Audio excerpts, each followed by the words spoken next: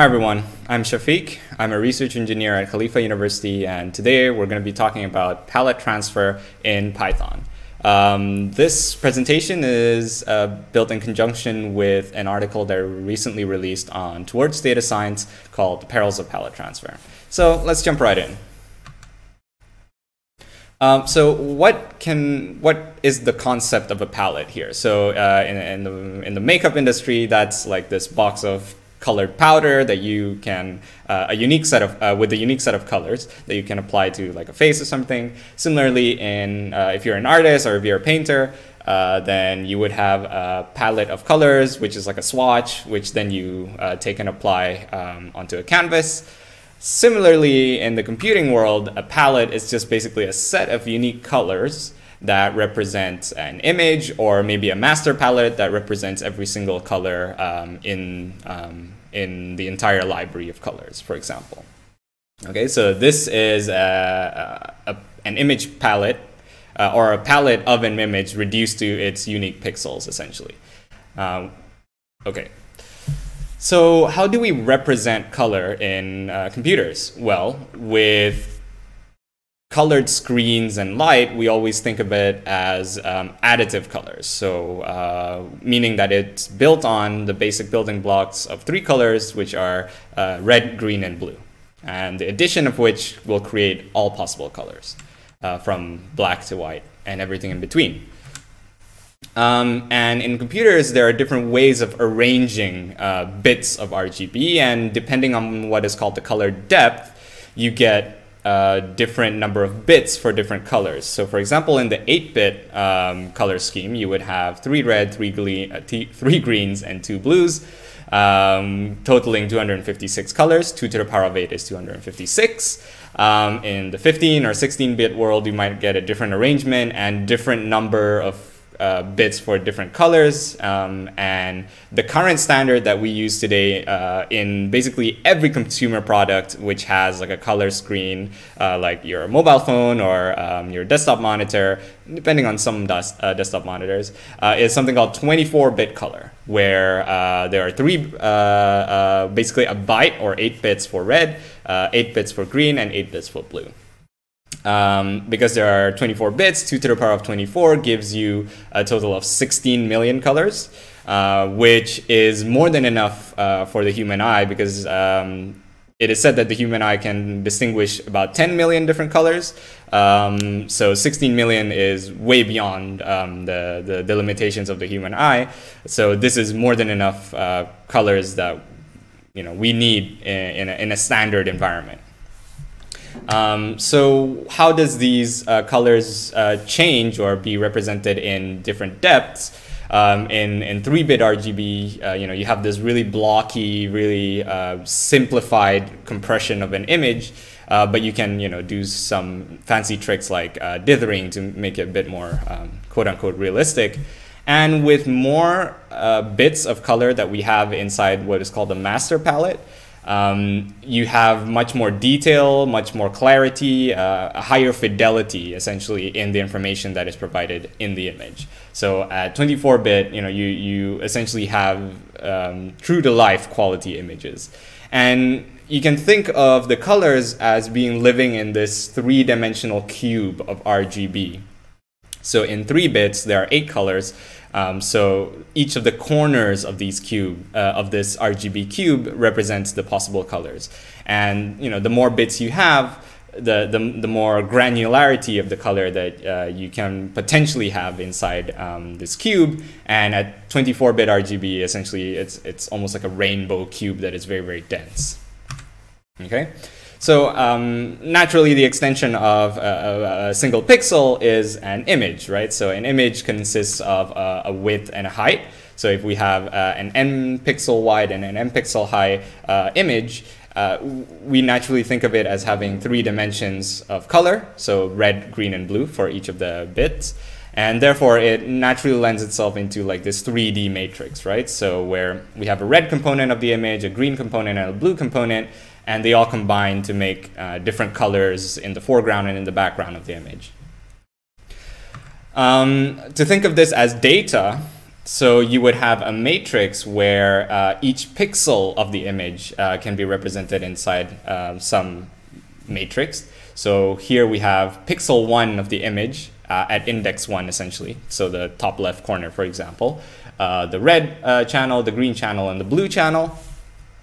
Uh, and then pixel two, red, green, blue channels, and so on until we have pixel m by n, which is at uh, the bottom right corner, for example, um, uh, the red, green, and blue channels of that picture. So it really lends itself well into this uh, 2D matrix approach. So if we think of data as a tabular, uh, if you think of an image as a tabular data, um, you can think of it as being represented in this matrix um, uh, of n times n by 3, essentially. So um, if you want to think of it as being living in this cube, right? So it's living in this 3D space. So each point um, in your image lives in somewhere inside this uh, 3D cube. So for example, it might be like, you know, uh, some manifold uh, in this cube, not necessarily encompassing the whole cube.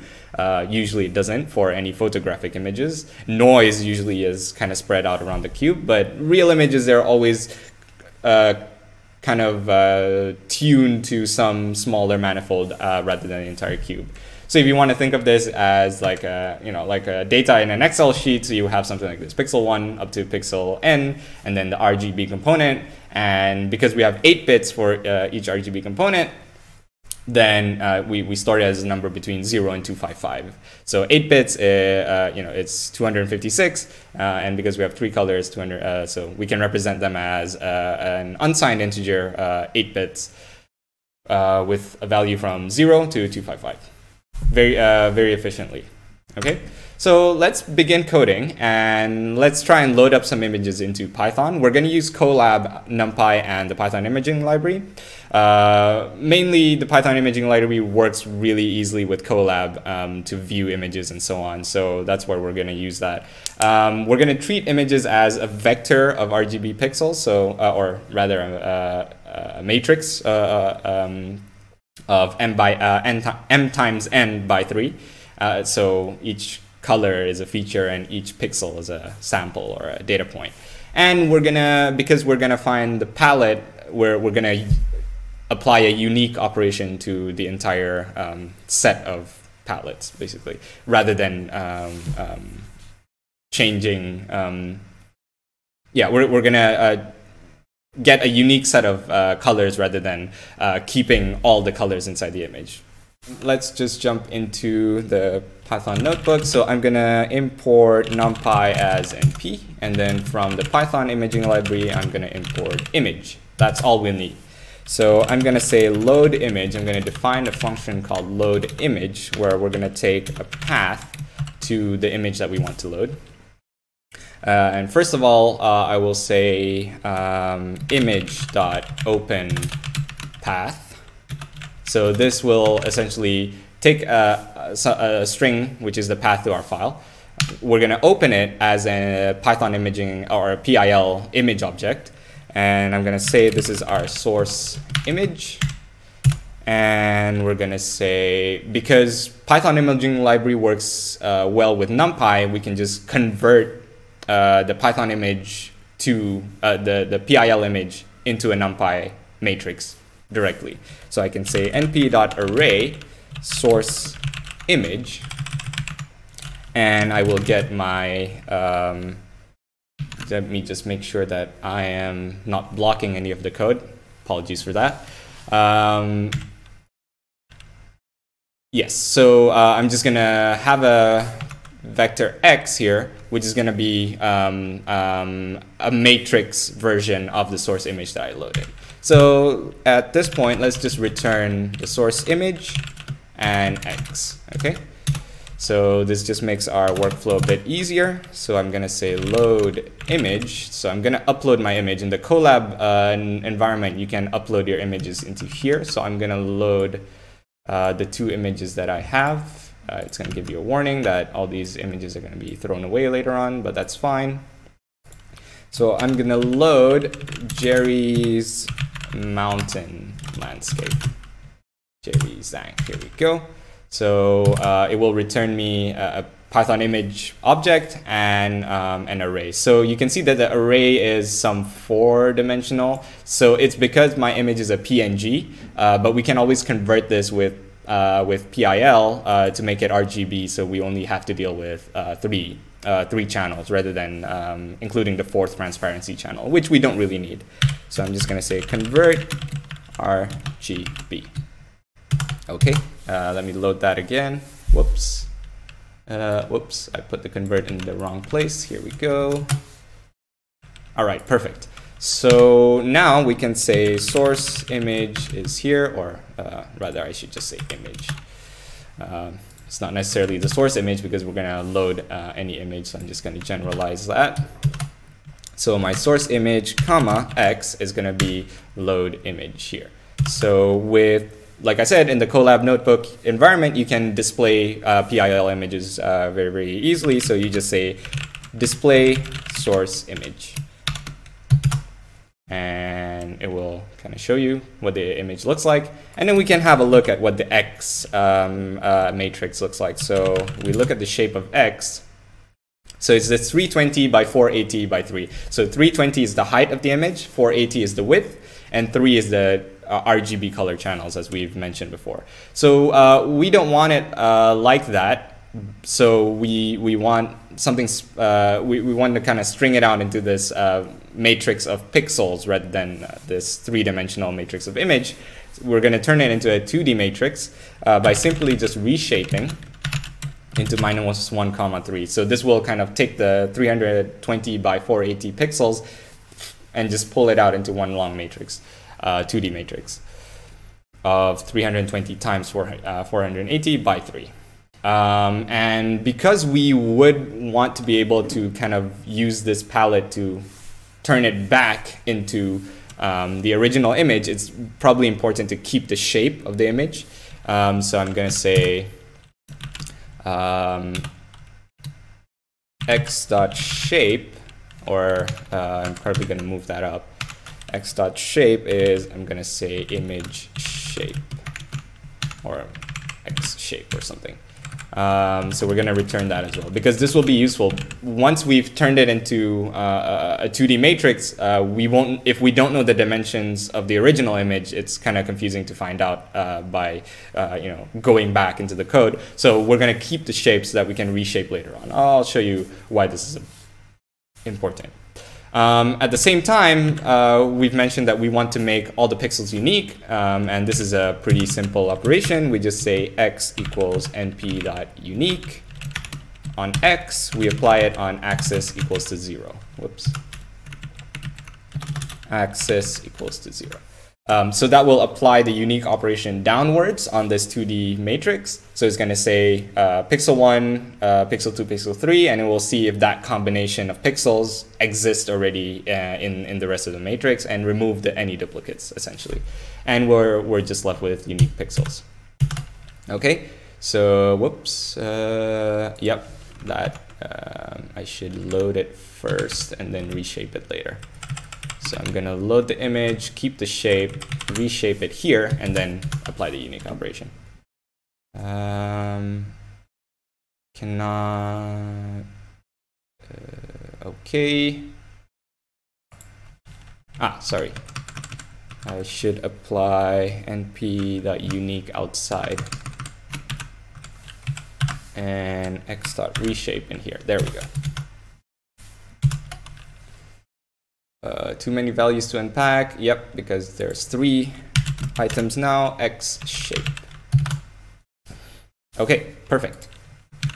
So now the shape of X, uh, before it's this 320 by 480, but now because we've taken all the unique pixels, uh, we have 41,637 pixels. That's awesome. Um, those are the unique pixels in, uh, in the first image, in the source image, and we can similarly do the same for the target image. So I'm gonna say this is no longer source image, whoops, um, but rather we're gonna work on the target image. And we're gonna call the target image Y for simplicity.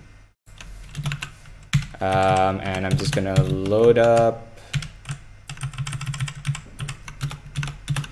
a, the other image by Wolfgang whoops. We go. And display. Awesome. So our second image is this picture of a flower um, with a yellowish green background. And uh, if we look at Y's shape, so the number of unique pixels that Y has is 29,652. Awesome. So uh, from here, um, actually, you know what? It might be a good idea to keep both. Yeah um, because we need the unique pixels, but at the same time, I want also to get um, the actual um, image so that we can do transformations very, very quickly rather than having to reshape and all that. So I'm gonna say, um, I'm gonna have xu is gonna be um, np.unique x and x is x.reshape. Right, so yes. So now we keep all the original pixels of x and we have the unique pixels of x um, together. So I'm gonna say image x, xu, and x shape. So I'm just gonna add xu here and yu here. So this will all be uh, apparent uh, later on. I messed something up. Uh, yes, because I did not rerun this function. Awesome. So now we have an x which has this shape. So the original 420, uh, sorry, 320 by 480. Uh, and we also have xu, which is just a unique set of pixels. Awesome. Okay, um, so from here, let's maybe carry on and uh, see where, where we go. All right. So um, we found out that the image has, let's say, 30 or 40,000 colors. That's awesome, great. But what if we wanted only 16 or 32 or even 8 colors inside you know, the entire image? So the, the image right now has 30,000 colors. What if we can reduce to the, you know, let's say, eight, uh, eight colors that are maybe the most important? Um, but at the same time, what we want to do is we want to keep the original flavor, the, the, the textures, the, the, the structure of the image and everything, uh, and maybe just keep the overall, overall flavor of it. So the idea here is maybe if we can find a way to to average similar pixels, right? So uh, the, the concept here is to find some form of differentiation between foreground and background or different, uh, different um, salient colors. So for example, if I look at this, um, uh, this, this color palette here, this, uh, sorry, this makeup palette, I can see like, okay, there's a set of oranges here uh, that I can maybe group as one single color. So I'll take the average of all the colors of these oranges and call them orange. And these reds look kind of similar, so I'm gonna group all of the pixels of red around here and call them red uh, and similar ones in purples, and until I get eight colors, let's say. Um, it's not really trivial how we could do this because, uh, well, how, how do you choose which colors are similar and, uh, and all that? So perhaps we need some form of distance measurement, right? So um, in, in maybe RGB space, so in this 3D uh, cube that we mentioned. Um, so one way to do that, to achieve this, is by clustering. We group similar points together and we find clusters that are far apart, right? So red has to be far apart from uh, far apart from blue, but the the group blue and red should contain pixels which are mostly blue and mostly red, right? So that's the idea here, so to do clustering. And one very common clustering uh, algorithm or method is something called k-means algorithm. So k-means algorithm works like this. We have a set of points so let's think of this as our RGB colors in 3D space in RGB space. Um, we initialize a random point within this RGB space. So let's say we we randomly pick eight spots uh, within uh, within the space, and then we measure distances from the center of that um, uh, from that centroid that we've just uh, drew up right? These eight centroids that we just drew up, we measure all the distances from, uh, from the centroid to all the points um, in the set. And if they are closer to point uh, to centroid 1 versus centroid 2, let's say, then group them in centroid 1. And if points are closer to centroid 2 than centroid 1 and 3, for example, then group them in centroid 2. So that's the idea. And once we have the measured distances, we have the group, we recalculate the centroids. So the centroids might appear so, uh, somewhere inside this 3D space. After finding the closest neighbors, it will kind of like move around. It will kind of shift to the average of the neighbors. So essentially, we're iteratively averaging all these colors until we find um, some convergent uh, color. Okay, uh, and, and the, uh, the color analogy here is we find essentially the top k colors because there's a nice property of k-means clustering is that finding or, or minimizing the variance of each cluster or minimizing the distance within the cluster is also maximizing the distances between clusters. And um, these K colors, these K clusters that we just uh, we just found, are actually uh, you can think of it as the most important colors um, in the image. So let's have a visualization of how the K-means clustering look like. So here's uh, a video that I'm gonna play. So we have the centroids um, in the image here. It's marked as crosses. Uh, I don't think it's very visible. But these are the initial conditions. These are randomly just selected uh, out of nowhere, and we find which points inside the uh, inside the the color space. So this is a set of uh, unique pixels inside the image. Um, and um, we can see that this cluster is relatively small, but uh, you know there's an X here, and then there's a uh, there's a centroid here, there's a centroid here, and these are the the initial clustering.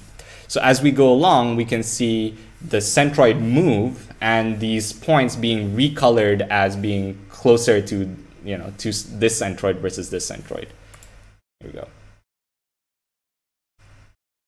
Right, so we can see kind of like these points shifting around, but ultimately it converges at a point where all the clusters are far apart and at the same time all the the variance of the cluster or the distance between all the points within the cluster is minimized right? So let's say this is the set of colors that are green this is the set of colors that are yellow. Of course um, this is a PCA plot with um, the, these are not the real actual colors of the image um, but this is the, con uh, the, the, the conceptualization in image of the k-means clustering algorithm so once again it that we, we have a starting position and then we, we found the centers, we found the, the, the neighbors of the centroid, and then we average it. Okay, we average the points, we average, we average, we average all the way until we reach convergence.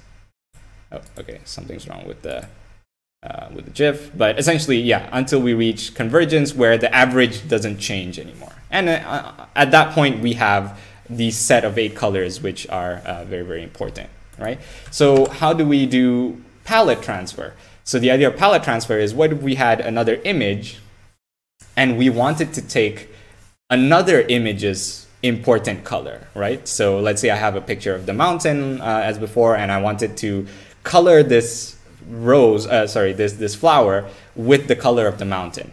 So essentially what I can do is I can just take these centroids, which are the most important colors of the other image, and have it as my own color, right? So I would transform the image into you know uh, just a unique uh, set of pixels, and I find the closest centroid to the pixel yi in the other image, right? And then I reshape it back to the original image. So in in uh, you know following from our clustering thing, so if I have a point here, which is a, a point in my uh, in the picture of the um, or, a pixel in the image of the flower, I just need to compare the distance between each centroid in the, uh, in the k-means clustering of the uh, source image, and I can get you know, I can get the pixel of that centroid and recolor the image um, uh, as I need. So, um, so here I'm measuring, okay, this one's quite far, this one's quite far, this one's quite far. Okay, this one's close. This one seems to be the closest point to this pixel. So I'm going to take this guy's color, essentially. Um, and you'll see some very interesting effects, but let's, let's try and do that. So what we're going to use is scikit-learn. Um, it has a clustering algorithm, uh, the uh, a k-means uh, variant uh, of, uh, of, Lloyd's algorithm that we just explained, but uh, it's a better implementation which considers bounds and, and all this. So we have to be careful with the conversion because k-means clustering in scikit-learn uh, does clustering in float, uh, in, yeah, in 64-bit um, uh, float, but our images are only uh, uh, viewable in um, unsigned integer 8. So we're going to have to do some conversion and be careful with that. Uh, we're going to visualize the palettes that uh, once we've reduced the, the image down to their uh, uh to the to the k-means, we're going to visualize the colors of the centroids. And as an exercise for you guys to try at home, maybe play around with different number of clusters. I'm just going to do eight in the interest of time. And um, maybe here are some questions that you can ask yourself. What if we use unique pixels or not use unique pixels when we're clustering? And what if we have centroids that are equidistant? So if we had two centroids, let's say um, uh, I have a color that is blue, but is the same distance from green and red. So which, you know, which point do you pick? It's not obvious, but it might be uh, interesting to explore on your own. Okay, so here we go.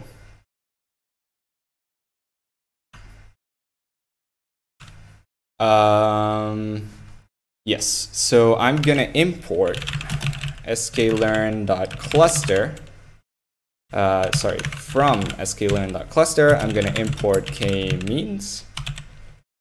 Um, okay, and I'm just gonna remove this guy. So I'm gonna say this is my, so I'm gonna initialize a k-means k-means clustering algorithm. So I'm going to set the number of clusters. The number of clusters I'm going to say is 8. Um, and this is my KMN. So this is my k-means object. So what I'm going to do is I'm going to fit into the k-means the set of unique pixels xu. Okay, so once we fit it, we can see the cluster centers, kmn dot cluster centers. Oops cluster underscore centers. Okay, so um, now it's running and it's found the, the set of uh, unique pixels and then it fitted on the unique pixels. It does all the, uh, the algorithm uh, as we've explained. And then it found these centers. So there are eight uh, centers here, one, two, three, four, five, six, seven, eight. And these are the values of the centers of those images. So let's visualize them. So right now it's in float, so we're gonna have to round it up and turn it into a palette object here, which is just kmn.cluster centers, or I should just copy this guy. Um, and I'm gonna say dot round. So this will round it up to the nearest integer or round it down. Um, and I'm gonna say as type numpy.uint8. Okay.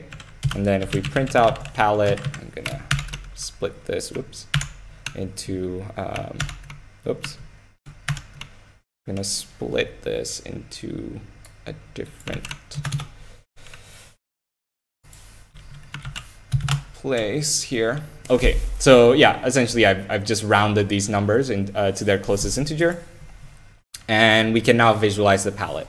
So what we're going to do is I'm going to say image. This is the image uh, PIL image object from array. And I'm going to say palette. And I'm going to say this is palette. Okay. Um, so we've just converted from the palette into a palette image. And I'm going to display it. So I'm going to display palette uh, image go. Okay, so it's small. that's because uh, these these images are one pixels. Um, so I'm gonna say um, um, display image dot resize. We're gonna resize it up into uh, the size, the width. It's gonna be 32. The height is gonna be 8 by 32. Whoops. Um, that is not what I expected because we just resized it using um, yeah, we just resized it using bicubic. I want um, image nearest neighbor um, interpolation.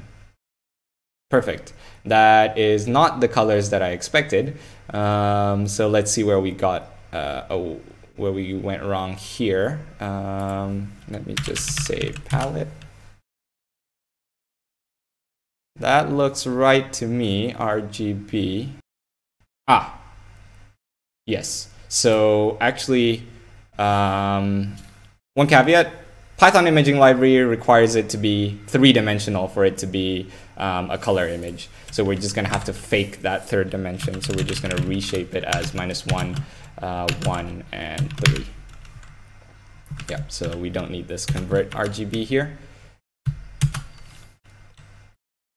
Okay, there we go. So those are the, the most important colors from um, from uh, the, the so you can see there's the blues, the the uh, light blues, dark blues, oranges, browns, grays, which are typical of, uh, of, of the mountain image. So now we've we've have a, a reduced palette done by uh, by clustering. We can do palette transfer. So what we can do is because we have this k-means object, we just need to fit it. We just need to do uh, sorry, not uh, fit. We want to predict. So we, we predict on y. So y is the set of uh, pixels, set of uh, all pixels in the image y. So what we can do is we can predict y. So now that gives you the, the cluster centroid IDs, right? So uh, it says this pixel in Y belongs to centroid ID 2, is closest to centroid ID 2, centroid ID 2, and 2, and 2, and so on. Um, so now we just have uh, a string of indexes. So what we can do is just say palette. From our palette object, we can just index. And then that will give us uh, uh a 2D uh, representation again. And then we can reshape this into Y shape and then we will get the original shape of the image, right? And then from here, I can just say PLT, uh, sorry, um, uh, so I'll say this is my Y transform, and then I can say um, image from array Y transform. And there we go. So now we've kind of converted the image of the flower from you know this uh, this purple with green background into this um, you know otherwise pre pretty interesting recoloring of uh, uh, of, the, of the flower. And of course, you can uh, also do this uh, similarly for the mountain imagery. You can kind of reduce uh, the original image down to the eight most important colors by just applying it into X essentially. So let's have a look at that there you go. So we, we've got now this cartoonish, blocky sort of uh, version, but we still keep like the structural and you know the the the flavor of the image, the overall uh, idea of the image, right? So and from here now we have like a set of palette of colors that you can even use for like web design, for example, if you wanted a, a limited color palette. So there there are some interesting things that you can do from here. All right, perfect. So.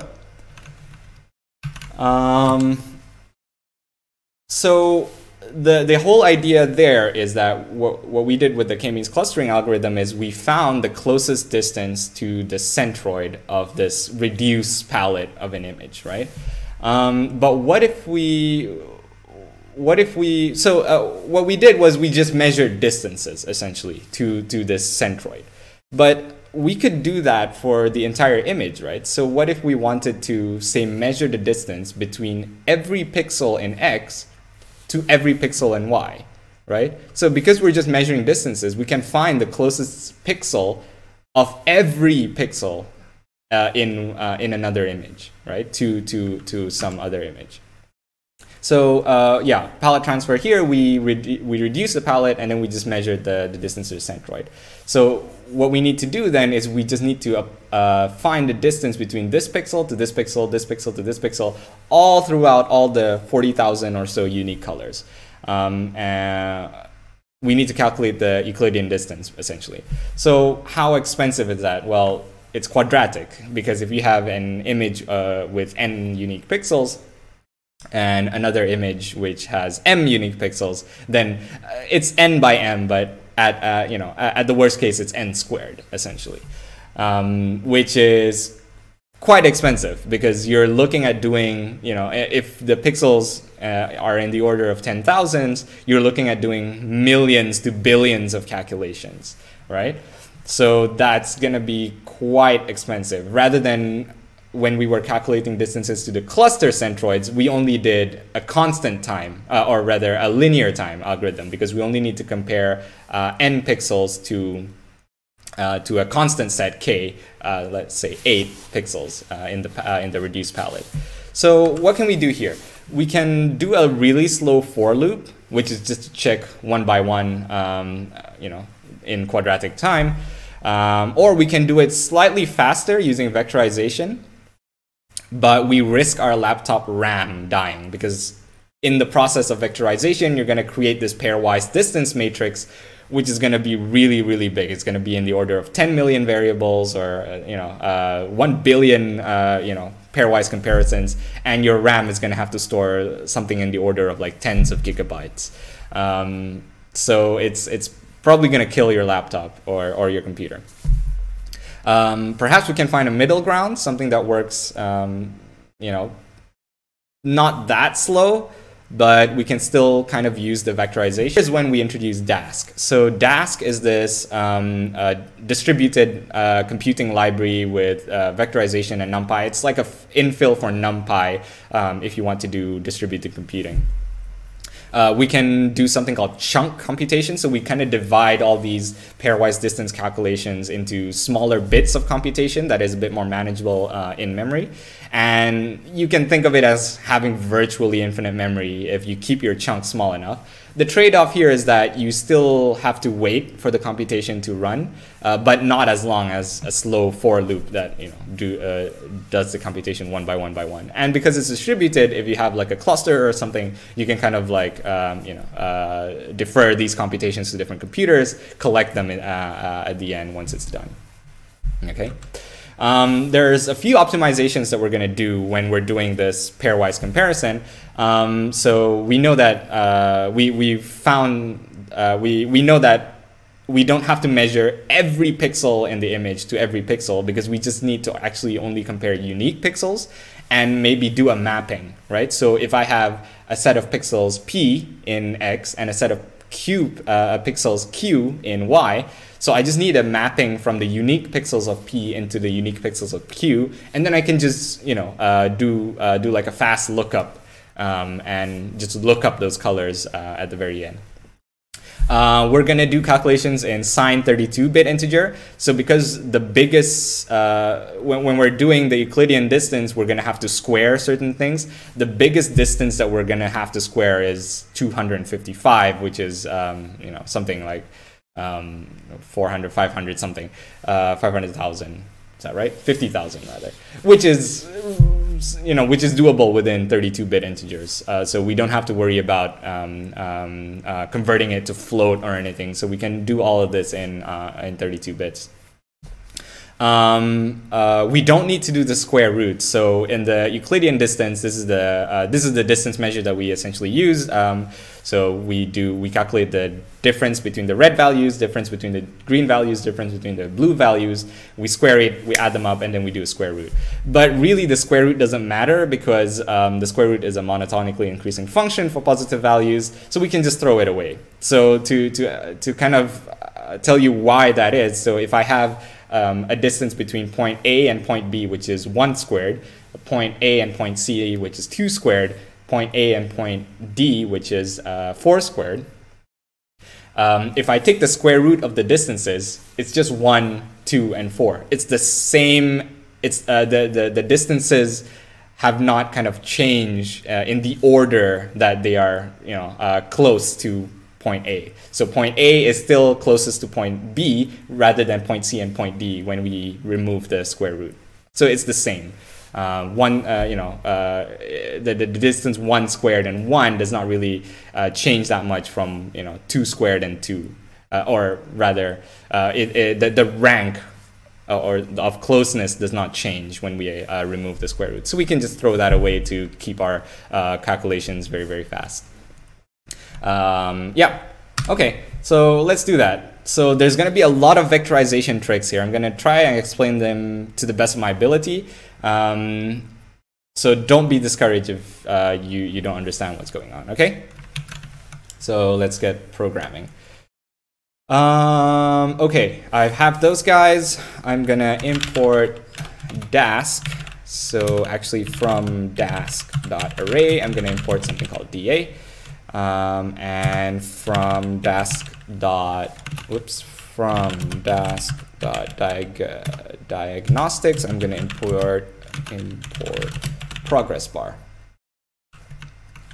So progress bar just uh, because the computation takes a bit of time. I just want to see how um, how how far it's going. Um, okay, that's all we need. And then what we can do, whoops, uh, from uh, sorry, I want to import dask array as da. Yeah, there we go.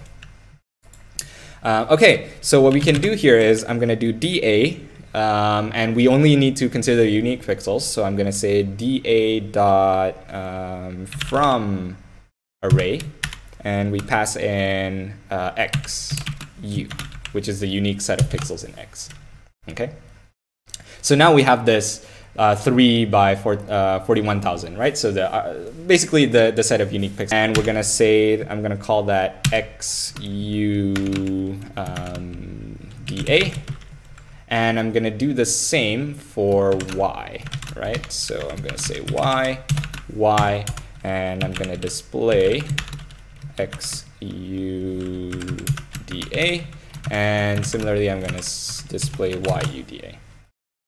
Okay, so I have my two Dask arrays. Um, these are like NumPy arrays, but um, they're they're not really they're kind of like lazily stored. So kind of like the computation plan is stored, but not the actual computation. So we don't do any computations when we um, when we do any Dask operations at the moment um, until we say compute. Okay, so um, what we're gonna do is we want to find all the mappings of so we, we, we want to transfer it into y. So y needs a mapping of y onto x, right? So a set of keys of y pixels and values of x pixels, right? Which are close to each other. So what we're going to do um, is find the, so first of all, we just need to find the pairwise distance between every pixel in, in, uh, in uh, in the two uh, uh, in the two uh, unique set of unique pixels. So I'm going to do yu. I'm going to reshape it, or rather yuda. I'm going to reshape it as um, minus one one by three, right? So that will give me a 3D um, uh, matrix, but essentially it's still the same information. I haven't changed anything, but this will allow me to do something like this. Subtract yuda with xuda. I get this pairwise distance matrix, and the three there is uh, all the uh, all the differences between the R, the G, the B. So basically the delta R's, the delta G's, the delta B's, right? So there's the delta R, delta G, delta B of pixel 1 against uh, pixel 1 in Y against pixel 1 in X. And we have, you know, all, you know, pixel 1 in uh, pixel 1 in X and pixel 2 in Y, pixel 1 in X and pixel 3 in Y and so on until pixel MN in Y and pixel MN in X. So every possible, every pairwise combination. Um, of course, we can't keep using uint 8, so I have to be careful here. So I'll have to convert um, yu and xu um, into np.long.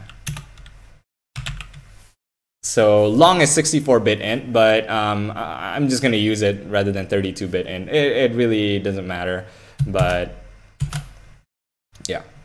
So yeah we, we can use 32-bit uh, integers, but let's use 64 for the moment. Um, you know, in general, if you have larger distance calculations, this is the sort of memory that you're going to have to deal with. So this pairwise distance matrix essentially will occupy about 29 gigabytes of memory, as it says here, which is um, pretty pretty ridiculous. So um, what we also want to do, uh, because the chunk, it's, it's taking the whole thing as uh, we want to actually be able to chunk this thing. So I'm going to say, um,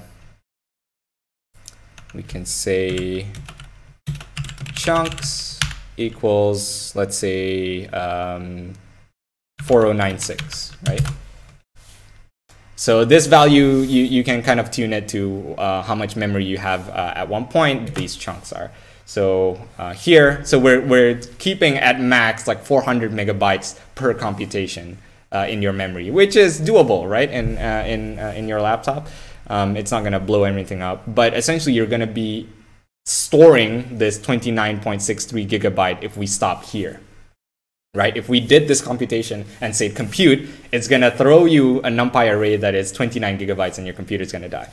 So bad idea, but all you need is not the pairwise distance, but which pixels are close, right? So uh, essentially, uh, well, for once, we, we don't even need to leave it here. We have to sum up all the um, uh, delta R's, delta G's, delta B's.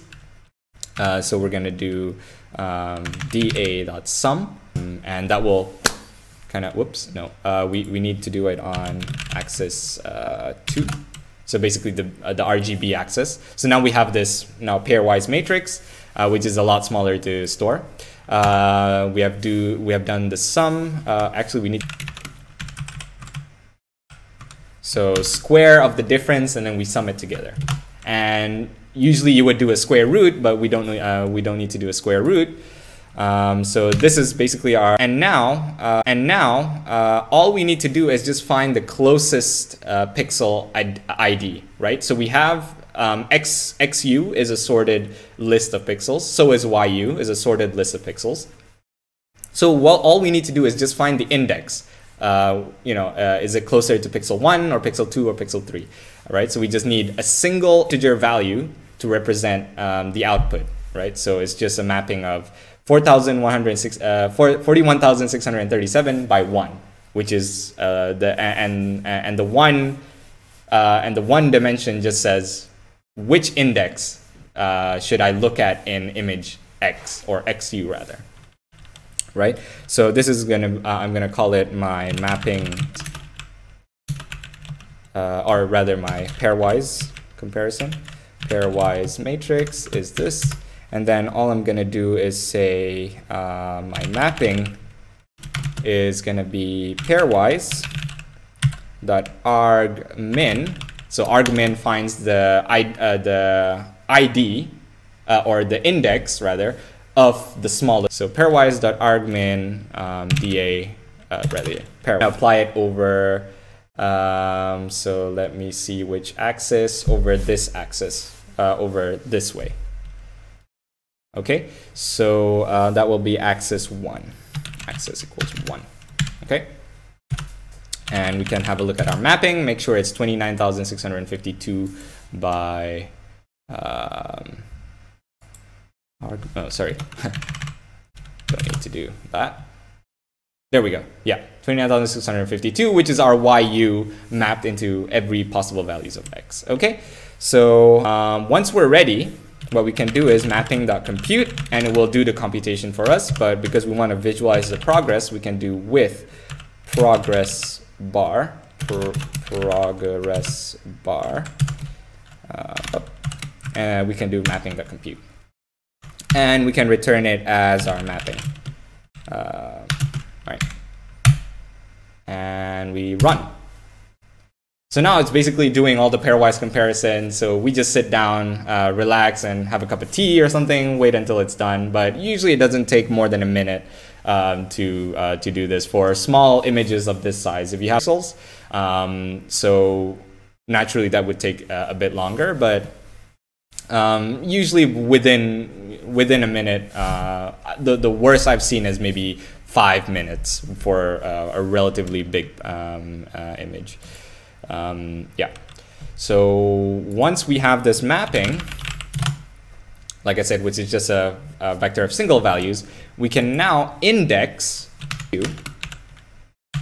Right. So if we apply xu onto the mapping, we get all the pixels in xu that correspond to yu right? So if we look at the shape of this, it's going to be the shape of YU, 29,652's, um, but it's now all the pixels of XU, right? So from here, what we can do is create a dictionary, right? So we can zip, um, uh, or rather um, create a, a mapping uh, dictionary, mapping uh, lookup table. I'm going to say dictionary, or rather, we're going to use dictionary comprehension um, p4 p comma q in zip x uh, sorry, y underscore u, x underscore u mapping, right? So this will give us now a dictionary mapping all the pixels in yu into all the unique pixels in yu, uh, in xu. Sorry. So once again, all the unique pixels in yu into all the unique pixels in xu. Okay, so if we print out our mapping lookup table, um, unhashable type. Oh yeah, so um, NumPy arrays are not hashable, but we have a pretty easy way to do this. We just say tuple p um, and then dot to list. So we just make it a tuple, so it's hashable. Okay, so here is our tuples, uh, or a mapping of our tuples uh, into arrays. And basically every pixel is now mapped onto uh, an array, um, uh, which is in, so all, all the uh, all the unique pixels in YU is now mapped to some unique pixel in XU, which is the minimum distance, right? So this is a, uh, the closest pixels in XU that, that it can find, okay? Um, all right, so now that we have this, what we can do is just uh, apply this mapping lookup table from uh, on, on, the pixels of yu, right? Because we are transferring from xu into yu. So I say yu, uh, so or rather y, and uh, or I can do np dot. Actually, let's let's uh, make it make it easy on ourselves. So let's create a list of uh, pixels that we're gonna um, create. So uh, p, and we're gonna do mapping lookup table of pixel p, right, for p in x, or rather y, right? So we're gonna look at, and we're gonna map that pixel into uh, the, uh, the, the corresponding xu pixel, and this is gonna be my y transform now. And just to make it an array, I'm gonna do uh, array. So let's see. Uh, unhashable type, yep, we cannot hash um, a numpy array again, so we're going to say tuple p dot list. There we go. Perfect. So now this image is now the image y, this, this flower that we had, but with all the pixels coming from this image, right? So all the pixels taken the colors of all the possible pixels in this image. Okay, so let's see what we get here. So I'm going to do um, yt.reshape y shape, y underscore shape.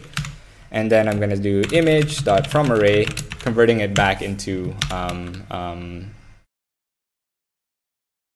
converting it back into uh, a Python image, a Python a PIL image, and then displaying. There you go. So now we've got this really high, uh, you know, high fidelity image rather than this blocky one, which I think has has some charm to it.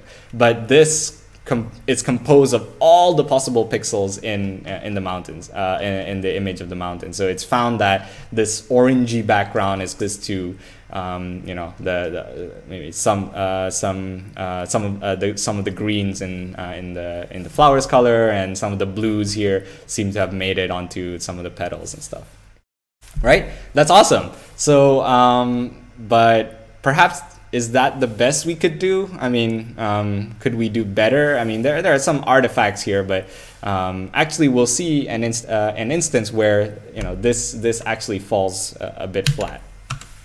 So let's talk about color spaces. The, there's something weird about this RGB space that every color is kind of distributed evenly within this RGB cube, as we've said. So every color is equally spaced between 0 and 255. Um, and that's fine. That's a good, obvious implementation that's very trivial, but it's not a good visual one. So, um, or a perceptual one. And here's an example. So I've actually done this particular code, uh, transferring all the colors from this flower onto this flower right? So I'm thinking, okay, there are a couple of pinks here and a couple of reds and yellows here that might fill in onto this uh, petal very, very easily because of the distances and so on. So I was like, okay, clearly it's gonna pick out all these pinks, right? But when I ran the code, what we end up getting is this really drab brown, which has come from this petal. And I was thinking, that's not right. That doesn't seem mm, true because these pinks are definitely much closer. But in reality, because colors are almost like equidistant from, uh, from one another in RGB space, it's not actually true in visual space. In visual, uh, in in uh, our eyes see colors differently. Like because we have a sharper green element, for example, you know, we we are more biased towards seeing certain colors being similar. So in fact, if we wanted, really, it's something that looks like that rather than that. So this is a different transferring that we did versus this really bright pink rather than this drab brown, we really want to get like a reddish sort of thing that I said could come from here. What happened here? It's because of the RGB space. So what, we, what could we do? What we could do is to transform the image, right? So there are other color spaces that these colors can live in. So R, rather than RGB, maybe we can convert it into CMYK or cyan, magenta, yellow, and key. Or HSL, hue, saturation, and lightness, another very common three-dimensional space that colors can live in. Um, so these are called linear colors, and there are also non-linear color spaces. So RGB is an example of linear, where every point is kind of uh, like CAM, CIE, and UV, you have some non-linearity which allows for uh, a, a, better color representation in terms of distances and so on. So it, um, you know, it's kind of it produces an image that is more true to life, that is more quote unquote correct as you, um, as you hear in like you know Photoshop and um, um, all these uh, color uh, color editing software and so on. So we what we could do is we could convert all our images into this uh, non-RGB space or non-linear space, um, which is fine, which is a, a, a doable, uh, viable option. But perhaps we can work on a better distance calculation. Keep our data in the same space that it's living in, RGB, but have a better distance calculation that allows for non-linearity. So I went scouring around the web and uh, I found this website which kind of details um, uh, the author kind of details what uh, you know what his thoughts are on the different color spaces and he does some conversion into YUV and found that you know there, there's a nice trade-off that we can do and he comes up with this equation for the better color distance that we can apply. So this might look scary at first but let's step, step through it. It's actually pretty obvious what he's doing here. So we have this like averaging of the red colors from uh, image one and image two. Uh, we'll call it R bar. And then there's like the, your typical delta R, delta G, delta B, which is what we do already, right? We uh, just find all the differences between R, G, and B. And then here is this big square root function with a bunch of um, numbers and stuff. Don't be scared. So all it's saying is if we blocked out this part, right? So if I had my pen here, so if we blocked out this part, blocked out this number 4 and blocked out this part, essentially we get uh, the Euclidean distance. So what is this saying? It's saying that Rather than using the Euclidean distance, we use a weighted Euclidean distance where the R values, the G values, and the B values are weighted differently in terms of their difference, right? So the, the, R, uh, the um, R values are weighted with this coefficient 256, and then there's uh, 4 delta G, which is pretty uh, easy to do, and then there's this an, another coefficient for delta B. So it's kind of like a weighted um, Euclidean distance that we can apply very, very easily, you know, without much extra computation and it you know it will still do the job, right?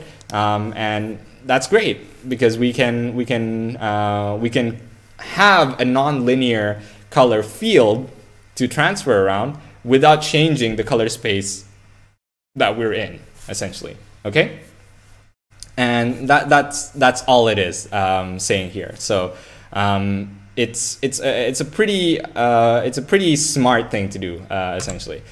So let's, let's try and implement this color distance into our program and see what kind of uh, differences we may get in the output image, right? So I'm going to modify the Dask Euclidean distance. So the values get large, so I'm going to keep the long type to, to handle some of the negatives. Um, and we're going to do some bit operation tricks. And this is the code um, that he comes up with. So it, don't don't be too scared about all means. It's just a bitwise hack that you can do because um, these operations are done in integer space. uh, or yeah, in uh, in uh, in integer numbers. So we can do the shifting and multiplication and addition uh, without you know uh, uh, while being true to here. and again. Um, like I said before, square roots are not important. We just want to find the closest distance, so we can throw that away um, to simplify computation. Okay, so let's program that. I'm gonna keep referring to this because I keep forgetting.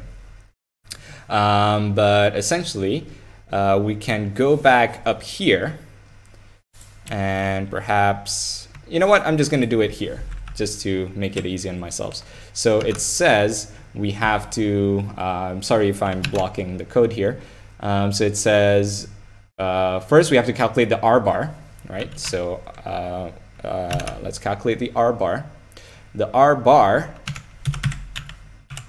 R bar actually just an average of the red channel, right? So if we have our y uh, u dA, I'm gonna re, uh, oh, it's already, yeah, I'm gonna still reshape it. I'm gonna reshape it into minus one, minus one, and three. I'm just gonna keep that as yu dA um, partially.